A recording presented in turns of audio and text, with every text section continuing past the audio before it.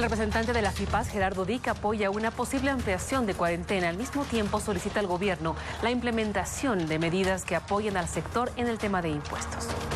Y ya comienzan a surgir las posiciones del empresariado respecto a una posible ampliación de la cuarentena. Afirman que es necesaria. Sin embargo, los microempresarios creen que el problema económico también es inminente. Eh, estamos siendo muy afectados como empresarios en todo lo que está sucediendo porque no estamos trabajando. Por ende, creo que las políticas que el gobierno tiene que utilizar tienen que ser de fomento y de apoyo del tema fiscal, préstamos y sobre todo lo que tenemos que asumir en pagos eh, diversos y compromisos que tenemos. Es mucho apoyo en el tema fiscal, en el tema tributario, mucho apoyo en el tema de acceder a préstamos donde vamos a poder tener la posibilidad de pagar eh, todos estos meses los compromisos que tenemos, para que juntos podamos enfrentar esta crisis que se viene después de este problema eh, del, del coronavirus.